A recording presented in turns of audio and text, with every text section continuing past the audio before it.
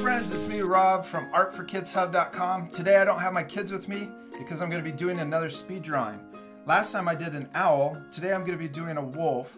I'm using an ebony pencil from Prismacolor, a kneaded eraser, and also a smudger, and regular printer paper from my computer. So here we go.